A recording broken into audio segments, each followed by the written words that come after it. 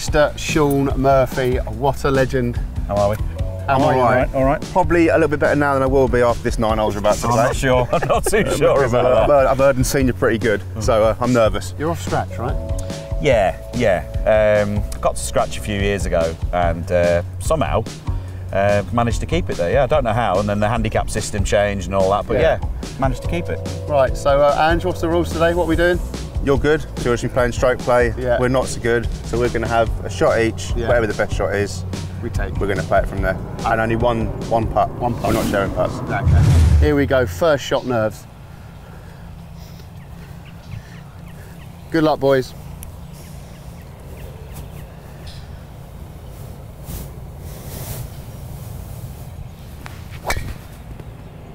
Stop. Oh, Stop. get in that trap. Stop.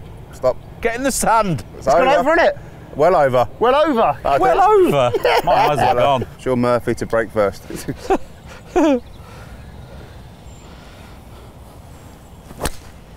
yeah, Oh, zinger Laser. Towerberger, laser. absolute laser beam. Oh, is Settle it? down, settle down. I'm not going to take mine. Pizza at a. Let's get up there. I think I was here one day. I think Carlos Tevez got hauled off. No. Was it here? I think he was here. He just wandered on. And there was some big corporate day going on. Carlos Tevez just got Just- absolutely. That doesn't wa- surprise me. He just wandered on and started playing and got hauled off. What are you doing, do sir? what, Oh, I just can do what I want on Carlos Tevez. yeah. What a legend. Don't worry about it. Oh. So a bit slappy. Bit slappy, but it's, It's up safe. there. It's up there. It's It's right. up there. It's a flick. It's a flick. Just flick on. Strike. No. Oh, he's gone right. He's gone right. There's a right club. Advantage, Mr. Shaun Murphy. Golf related, we always ask it first out. Um, how long have you been playing for and who got you into it? Do you know, golf was always like a present thing in the family. My dad played pro um, in the Manchester area. He was like a local pro at a, a course Yeah. in North Manchester, and um, he'd had to give up. He, had, he tore all the tendons in his wrist as like a you know a young pro. So that was his golf career sort of over. But then like I used to, I remember as a child he'd go off playing golf, or when I was a junior snooker player, he'd be playing someone in the club for me. They'd go off golfing. So golf was like a thing. Yeah. I think I was probably 15, 16 when I first took it up, and uh, something like that. And I played at a small course in Rushden in Northamptonshire. Yeah. Then I joined Wellingborough, which was like the that was the sort of best club in the area. Mm. Made some really good mates with the, the, some of the lads in the junior clubs there. We're still friends like to this day, and we had just great crack all the time. And then there was a couple of summers where I wouldn't say I had to choose between snooker and golf, Yeah. But you know, when I certainly when I got my wheels, the first time Yeah. you get the car, Yeah. now I can go where I want. Yeah. It was it was a bit harder to go to the snooker Yeah. club. You know, and Yeah. the sun was nice Yeah. out. So there was one time I went, um, you know, I went practicing snooker because that's you know that's my job. Yeah. And uh, me and my mate Jason had just decided to go off playing golf instead. So uh, my dad rings me and he said, um, "How's the uh, how's the practice going?" Yeah, no, good. Because he was like my coach and manager at the Yeah. time, like you know. He goes, uh, "Yeah, how's this practice? Yeah, yeah, it's good. Yeah, working on my game. It's all going well." He said, "Oh, good." He said, um, "It's just that I'm in the snooker club, And you'll know where to be. and you're not. Not here. Apparently, you haven't been here for days." Oh, you know, my handicap was tumbling, and my, Yeah. but so was my world ranking. Yeah. You know, I was like falling off the tour at the time, and yeah, the golf golf was a bit of a problem. It's certainly like with my snooker for a couple of seasons, but um, yeah, sure. Look, as we know, it's just there's nothing better, is there? No, nothing exactly. better. It's the best game. You tried to qualify for the Open as well, didn't you? Yeah, I, I um, Was that fif- 15, was it? when was that? No, it was it was uh, just maybe two or three years ago. It was just Okay. before the pandemic, and uh, you know I got down to scratch Yeah. somehow, and uh, someone one of my mates said, uh, "Geez, you know, off, now you're off scratch, you can enter the Open." Amazing. And I was, I thought it was Sorry? a wind up. I thought it was a Yeah, wind up. hello? I thought there was a joke. So uh, I went online, had a look at the entry, and he was right. So it cost me 150 quid. Yeah. Like, you just can't not do it. No, No. you've got. It's And worth a go, um, I'm going to do that when I get to scratch. well, my mate, my mate caddied for me. my uh, my mate Robbie caddied for me, uh, and uh, we just went. We had an unbelievable day. yeah. uh, with full imposter syndrome, and it was dead weird because like everyone who was there was either a pro golfer yeah. or wants to be a pro golfer, and we rock up as snooker players. He's like the best amateur snooker player in Ireland, Yeah. uh, Robbie, and uh, he's caddied for me at the snooker. We've rocked in. Uh, we've done like a couple of mini stretches. We've hit five balls on the range, you know, like snooker players would. Let's go and qualify. Let's go. Let's go, lads. This is easy. so you didn't get in there, no? I think I was one under after three, and uh, then the wheels came off, Right. like fully off. Yeah. But it was an unbelievable experience. Yeah, like it that's was a great about, day out. experience? It was a So great day good. out. So the gun says 140. Oh no! Yeah. Oh, Oh, oh! a little bit toppy, but it's up there. That will sit. That will sit. Oh, it's Oh, wow. Why is it so quick? Winter's gone. What happened there? Winter's gone. thought that was bob on. Oh. Jeez, it doesn't look unstuck to me. Wow. It's, it's really hard, the green, didn't it? Can I do any better? That is the question.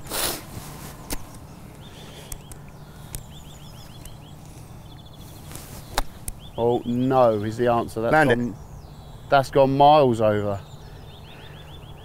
My ball. Your my ball. ball. Your it's ball. a putt off. It's a putt off. Bit thin, Lizzie. Out, not tendered. Out, please. Yeah. Fully out. I did miss one of these ones.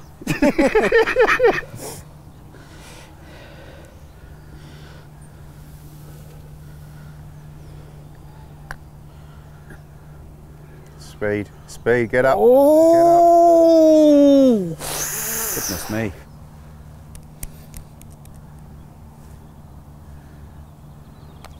Roll her in. Roll her in. Roll it. I think that's enough for you, isn't it? Ah. I think You that's can have that. Oh, you, you give it. You can have it. Yeah, you can have Surely that. Mr. sure- Murphy. He's Surely- never watched the channel, You've obviously. obviously not watched this channel. You're giving that to me, mate. But we take it. He's giving We'll it. take Take it. it. See you later. Oh, he's giving it. Easy. Oh, it's lovely. It's in. Never in doubt. Nil all nil. square. Nil all nil. square. Half This nine. is class.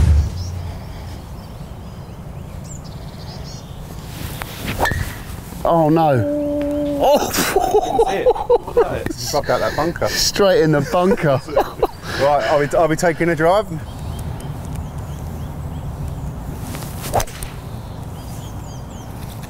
Down. Yeah, it's fine. yeah. Nice connection. A bit right, but nice bit right, connection. but not too bad. Oh, now. That good? The tee's up. That says it all. It was good, wasn't it? I didn't. I didn't actually see it. Yeah. It was all right, wasn't it? It was, uh, yes, it, very, it was very all right. Shaun, top golfer, one of the best in the world at snooker, and I hear you're pretty handy at darts.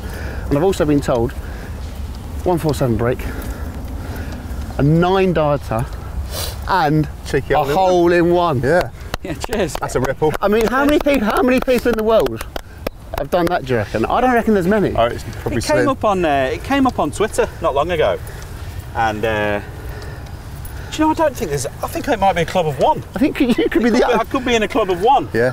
which suits me, to be honest. Um, no, no, it's, it's it's one of those strange little things. I mean, I've had one nine darter. You play a and it- nine and it darters, was- a nine You know, they all went in. Yeah, Um, it was in the Carter's Arms pub in Sale yeah. in Manchester. And Phil Taylor had sent me a set of his darts Right. as a bit of a, you know, to show Shaun all the best type of thing. Yeah. And it was literally, you could have thrown them anywhere. And they went in. Just- they just Yeah. curled and went in the thing. And I just stood there one night and I was just in that sweet spot of you've had just enough pints to Nice, yeah. le- relax, nice level. relax, Right but not there. too, yeah. And just hit nine of the perfect dart. It was just only happened once, but it, it happened. happened. Yeah, It it happened, happened. Uh, the hole in one, One. was at um, Royal Worlington down near Newmarket, Right. little nine-hole course. Played there bright and early one morning. Uh, got I think it was the sixth or the seventh. Par You weren't on your own, were you? No, definitely So wasn't someone saw it? No, Someone no, saw it it? was, it was, but no one saw it. Oh, oh was it, was like- elevated it was or like something? misty. Oh, no. Dead early. Knew you'd hit a good shot. Yeah, Got up there. Where's your ball? Where's the ball? Oh, oh, it's in the hole. So I'd never seen it. yeah. And then the 147. Yeah. Yeah, it'd be bad if I had a Yeah. That'd be bad. What ten, did, ten in the world, never got one four seven. what did you celebrate more from?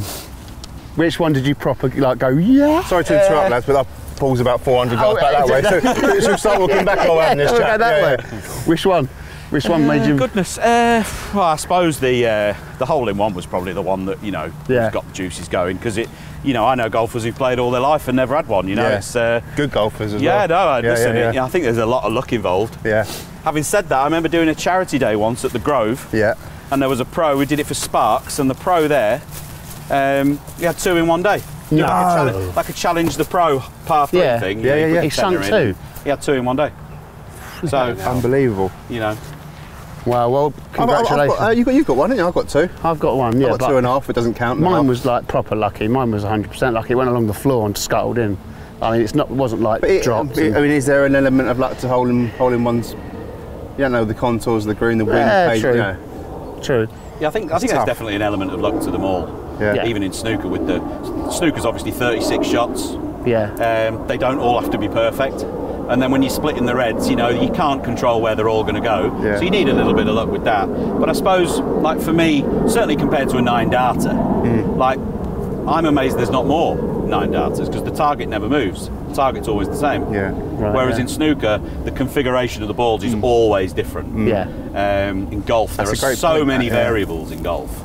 So I don't know if you were trying to work out which was the hardest. You know, if you gotta be one, four, if you took a beginner Yeah. and tr- let them go off at all three, which one would they get first?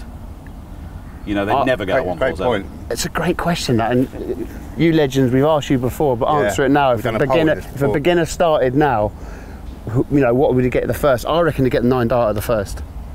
Yeah, I don't. Have you seen those those things? I thought it was really good. The European Tour came out with them there, with it take a pro Yeah. and give them 500 balls all day. Mm. Yeah. play the par threes. Yeah. I think Andy Sullivan Andy got Sullivan, one. yeah. yeah. and he's like over the moon. At the Yeah. end, See him run down the hill. He was down like, the hill. I he was gonna fall over in a like minute. he's won the Yeah. tournament, you know. So yeah, no, I mean you could be there all day.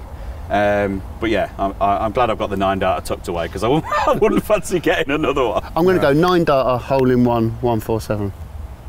What, easiest to hardest? Uh, yeah. Yeah, what I I, think. I'm probably going to go with that as well. Right. Yeah. Yeah. So Right. There let us go. know at home. 188. I've gone five on. I'm gonna try and bit of fade. Oh, what a shot! Coming? What a shot! keep coming. Oh, Yeah, great shot. oh, Might Be long, but Great that's I was shot. playing. huh? Might be a bit long over the back. Do I even need to take a shot? Oh yeah. Yeah. Oh yeah.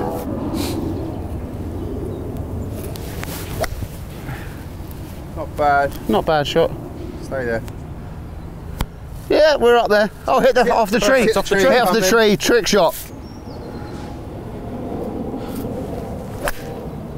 Oh wow! So It's the shot you wanted to hit. Just didn't turn left, did it? Back right over the green, I think. Just forgot to indicate left. I'm gonna putt.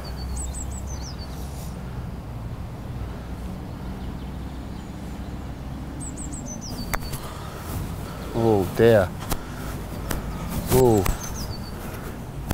Ooh. Oh yeah, not too bad. So we are putting, but we're putting off the green.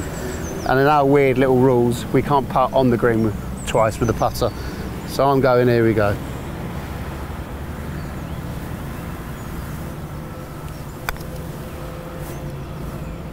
Like that. Oh, Like that. Oh. Hello. Like Hello. that. Like that. Oh. Like that. Oh.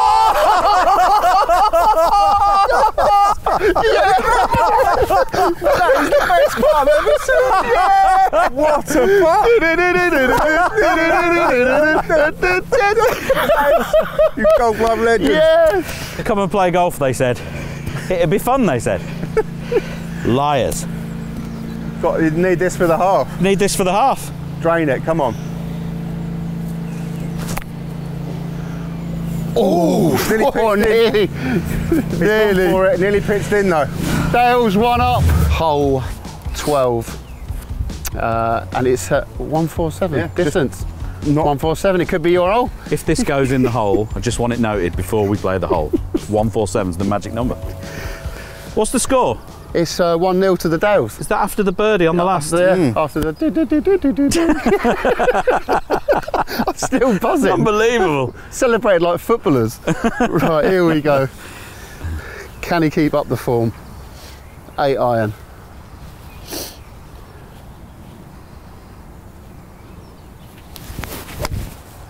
Oh, Oh, nice. Just turn over a fraction.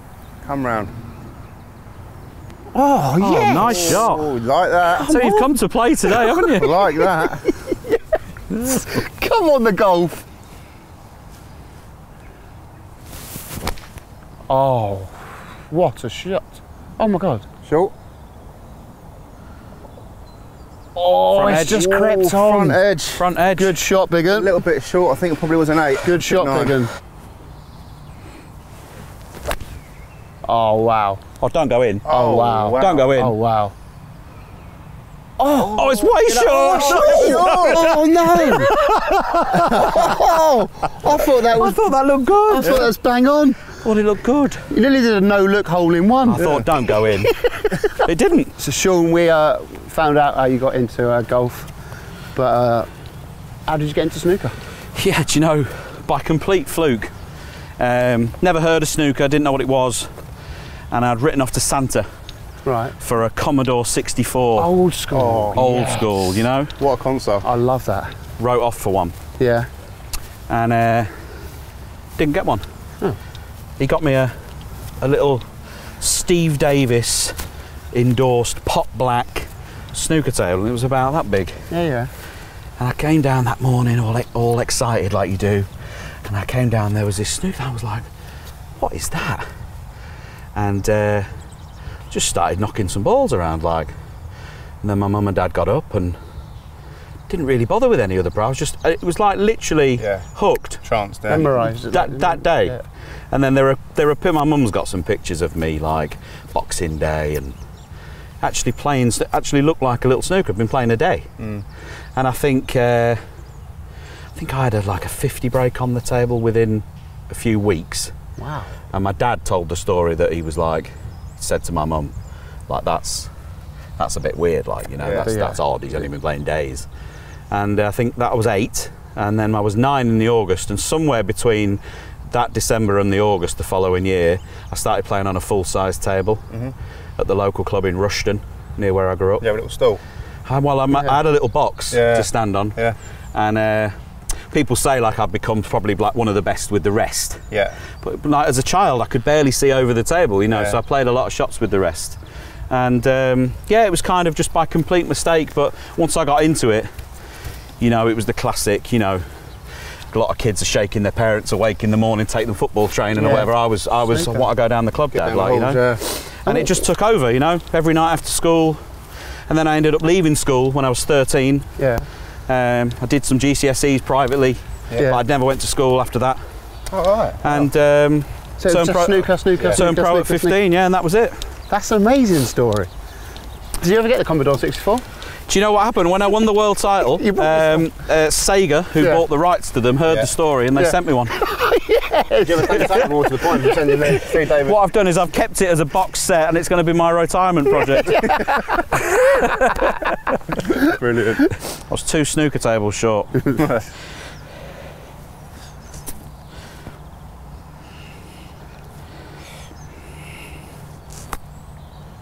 Stop. Oh, that was close. Oh, Touch of a baby rhino.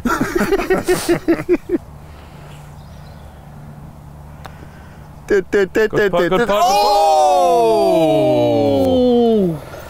You, you went early with the dance. Yeah, I thought it was it. You went early with the dance. Right. right. Shaun needs this. These 15 footers for halves are nice, aren't they? Just what you want. It's a good part, Shaun. It's good. Oh, he's lipped it. Oh, He's lipped it. thought What a it- great putt, though. I thought it was sailing in. There you go, sir. Thank you. The you. Dales are two up. 2 0. This does not happen a lot. What we have, I mean, the putt, plenty of golf the to last play, one, though. there's loads of golf to Plenty of golf to play. play. Stroke index one. Shaun, this is a tough hole, right? Yeah, this is a tough hole, yeah. Good long hole, good test this one.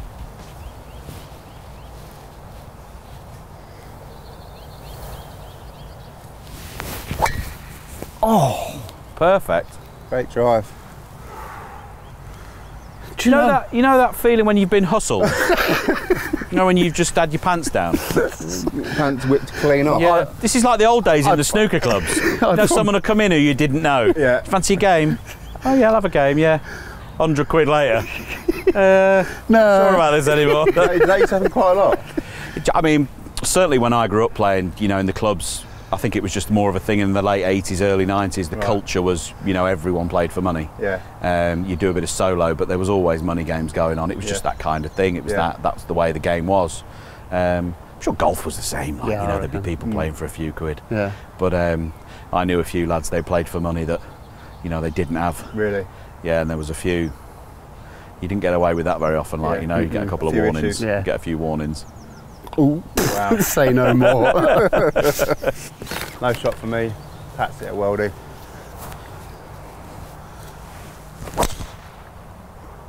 Drawing again.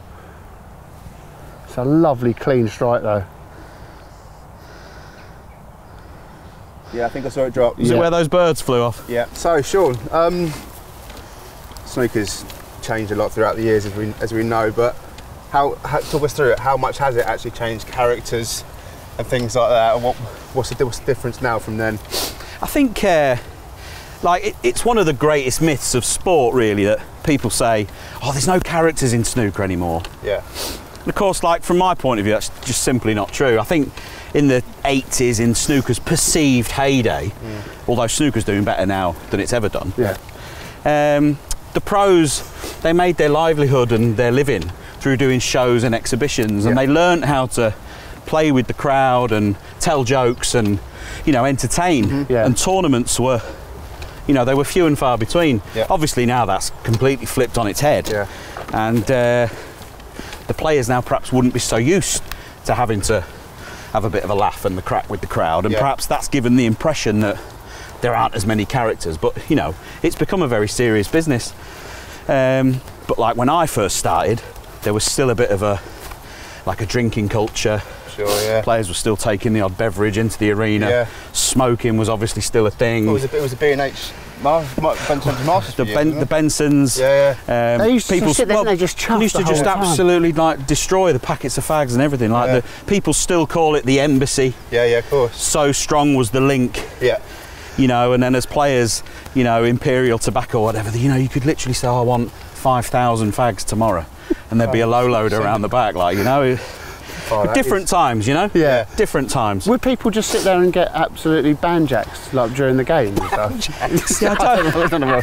I don't know about that. Yeah. I don't know about that. But uh, you know, there was definitely more of a, as I say, because the tournaments were so few and far between. They were seen as a bit of a showcase. Yeah. Their their work was through the week doing the shows. Right. Okay. Uh, the, the tournaments were probably seen as a chance to let your hair down a bit and put on an entertainment for everyone, and someone will win it. Yeah. Yeah. Um, and then obviously that's that's completely flipped over the years. But yeah, I don't I don't know of anyone that would now take a drink yeah.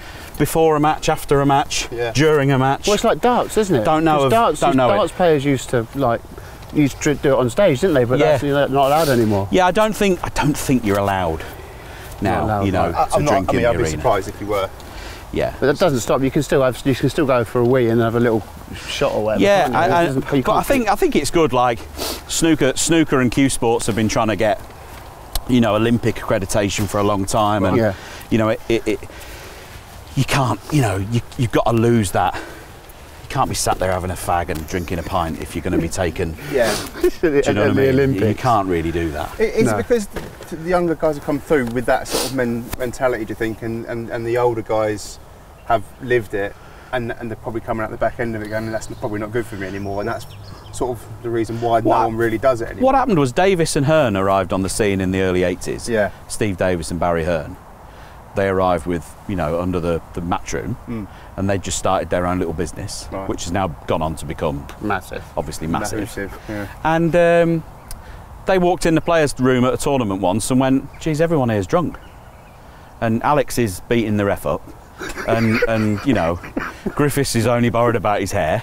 And, and and Dennis is just telling jokes, and Jimmy's Jimmy's doing whatever Jimmy's doing, Yeah. and Kirk's the and the, and he went, you know, if you just practice for six seven hours a day, stay on the water Yeah. at tournaments, keep your head down, we'd just take these guys apart."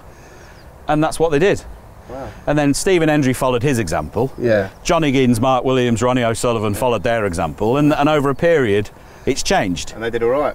and everyone did all right about it, you know. And the guys who were still going, ah, sure, I'll have a few, Yeah. they've kind of they've fallen by the wayside a bit. Well, I suppose it's like football as well, isn't it? Yeah. I mean, Men- it's mentality. Isn't yeah, It? it's like you know football in the nineties. Clear mind. yeah. yeah. Yeah. Fitness. want- Rather than being hungover, you're going down the gym or you're practicing earlier, and yeah, it all has a knock-on effect, doesn't it? Yeah, absolutely. Yeah, uh, and uh, you know, as I say, I think as the game, the game's tried to be seen in a more serious light. Yeah. Uh, you have to shed a lot of that. You know, you have to let go of that. Yeah. We have a we have enough problem convincing people we're a sport. You know, when you wear a dress suit and dress shoes. Yeah. Yeah. You know, how how can you be seen as a sport? Well, it's much harder if you're drinking as well and smoking as well. So Yeah. we're trying our best. Like, Fair enough. Love that. Really interesting. Here we go. Why am I playing all my shots from the? Uh, To be fair, you haven't played for five months though. Yeah. So yeah. Come on. Yeah. Oh, unlucky. Oh, I just caught the tree. then. Come on, run out. keep rolling. Oh, still got. Look at Go on, that. Ron. Go on then. Go on, Go on. Mark. Go on then. Oh, it's nice. That would have been unbelievable. Yeah. That clip, wouldn't it? Story of my life. That's Oh, a nice. connection. Nice. Keep rolling. Keep rolling. Keep rolling. Do you two leave me alone, like? you this is ridiculous. Proper it's turned up today. relentless. With a drugs test, please. oh, striker. Oh my god. Yeah, Oh, it's a lovely it's on. stripe big un. fine. In there. Lovely stripe big un. Just having my absolute pants ripped down. We were talking about characters. Feel like I've meant to, yeah. Oh, a hustler, baby. Yeah. Um, who's the biggest character you've come across in your time in snooker so far? Oh, um, yeah. It's, I mean, it's just so many to. There's just so many to choose from. Um, like the older style players, you know, they so many stories, and I've, I've just started doing the commentary now. So, you know, I'm spending a lot of time around, you know, your Yeah. Dennis Taylors and um, John Virgo. The story they, the stories they've got about players who I didn't get to meet, you know, like your John Spencers and John Pulmans Yeah. and and all that. Like just great, great stories. But yeah, we have a lot of laughs on tour. You know, a lot of the lads on tour. We, we, we have loads of crack, loads of banter. Um, there's a big practical joke scene. Um, I remember once I was I was invited to play in a. It became the Premier League, but it was the Matchroom League Yeah. at the time, and I was about 11, 12. And it was sponsored by Doc Martens, as was I Yeah. and in their contract was like I got to play each player a frame. oh. So I'm like introduced to that sort of world very young, Yeah. and I'm sat in the players' lounge at 12, like thinking, oh, you know, I think I feel like I've made it. I'm sat with Ronnie and Jimmy, and Jimmy's sat there reading the paper because this is obviously before mobiles and Yeah. iPads and all. He's sat there reading the paper, and O'Sullivan's come in like dead like thingy. He set it on fire. Just sat. And it took him a, it took him a lot longer than it should have done to realise his paper was on fire. But yeah, no, Probably half cut. I said, you know, we, there's, there's been some great things happen, and you know, cues have gone missing, and shoes have gone missing, and Yeah. all sorts. Like, yeah, it's great times. We have a good we have a good laugh on tour. Like that. Zip, zip, zip. Oh, it didn't zip. Oh, these greens are hard. Didn't zip, did it? What happened to the zip? Where was the check perfectly. side? You played that perfectly and didn't, didn't zip.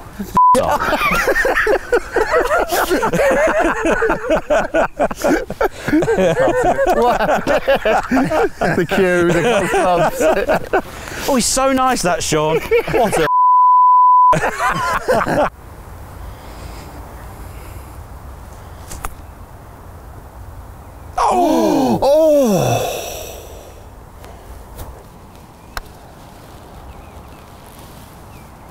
Keep coming, God. keep coming, keep coming, Oh, keep it's a little tea time tease. Left in that distance again. A little tea time tease. Come on, just one time, just once. Oh, that's two lips and four O's. You're not having a lot of luck, I've got to be honest. Oh my god. Oh dear, oh dear. So unlucky. Right, this hasn't been my distance. But confidence, all you legends have been saying, believe in yourself more. I'm believing in myself.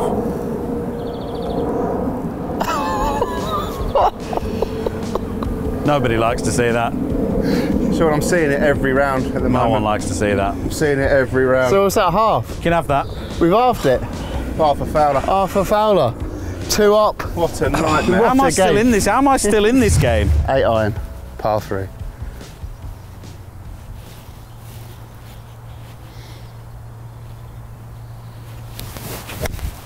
Nah. There we go. The. Absolute pone patrol. Phone patrol galore.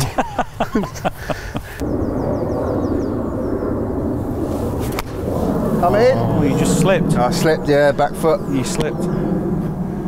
Oh. thought you were going for some sort of Strictly Come Dancing move there. I thought that was. Wait. Come on, Murph. Just put it on the green. Get it on the dance. Just get it on the green. If it happened to go in the hole, Turn in. And that is on It's trying. the dance floor. Oi. He's on. Love it. Shaun, you won the World Championships in 2005. Congrats. Yeah. cheers, cheers, cheers. Uh, cheers, I'll have a cheers, go on that one. What was that night like? Yeah, it was. It was uh, late. Um, Or early. yeah, early. Yeah, yeah, yeah. Um, yeah. No, obviously it was. You know, absolute dream come true, and, and uh, it was strange to achieve it. So I was the second youngest winner of it. So I was only 22, and um, it was the first win of my career of any kind. You know, professional tournament. So I didn't really know how to celebrate. You know, I know that sounds weird, but I didn't know what to do, and um, you just sort of get involved, don't you? And, and I never forget it was the it was the last embassy. So all the old embassy guys were there from Imperial Tobacco and all these, you know, they'd been part of snooker for 30, 40 years. Yeah. And it was there last night. So the party was, the party was mad like, but I never forget, um, I beat Matthew Stevens and he was expected to win. Like, he, you know, he would have been the favourite. And at the end of the night, like we're all several drinks in. And it was Ted Lowe. You remember the old commentator? Yeah, yeah, Ted, yeah, the yeah. whispering Ted Yeah. It was kind of his retirement year. He, he never come, he came and commentated for a session of the semi, Right. and he was never seen again. And uh, we're at the table. I've got the trophy in front of me. Yeah. An hour after I've won, and he came over, as a fart, Yeah. and he's gone. He put his hand on my shoulder and he said, um, "Now I just want to say, uh, I thought you played fabulous snooker, um, and you were very unlucky in the end." He said, "Now if you keep practicing, he said, I'm sure you're going to get there one day, but chin up and keep going." and he turned on the spot. And he walked across the room to Matthew Stevens and, con- and congratulated him on the win. What a legend. It's like, no. You know, you watching a car crash happen. Yeah, yeah. You know, please don't do Just it. trying to pull him don't back. Do don't But go You've to got to watch him doing it. And Yeah. he walked across the room, and we were like, oh, my. Well, it's, it's, it's better to say, you- yeah, you haven't won when you have won than go exactly. someone that hasn't won What did, you what won. did it- did- can you see Stevens' face just go, are you taking yeah. and it's just it's um, and I you know I've subsequently lost in three other world finals uh, and uh, of course Jimmy lost in six Yeah. And you know it's it's it's the worst match of the season of your life to lose Yeah. um, I'm just so thankful that you know I got to put the win away in 05 because the, the the three I've lost since have been they're, they're sickness like you know to lose to come so close Yeah. to taking that trophy home Yeah. and being champion of the world to come so close uh, and to lose in the final is is heartbreaking as a snooker player that's as close as it gets to catastrophe like you know and so to, uh, to to have been close three times and lost is, is a sickener But you've done it. But you have done it. Yeah, Yeah, cheers. So it's always etched on the trophy. Exactly. Yeah, yeah, yeah. Right, come on, big un. Oh. I mean, could be good that could be good oh, Settle, settle, settle. Oh, here we go. Right, can I better it? Same shot. Same shot. Same, Same shot. Uh, and My ball. that'll be all. Oh, it's nice. That's that's good enough for me. Yeah. That's good enough for me. Thank it's you. It's a par. Thank you. I'll take it. It's a par. I'll take it. Oh, it's good. Oh, but not good enough. Oh, it's getting interesting. This is getting Interesting spicy. all of a sudden. Uh, that Oh. is the end of part one. What a part Shaun. Murphy is an absolute legend. Part two coming soon. Please like and subscribe, you Golf Life legends.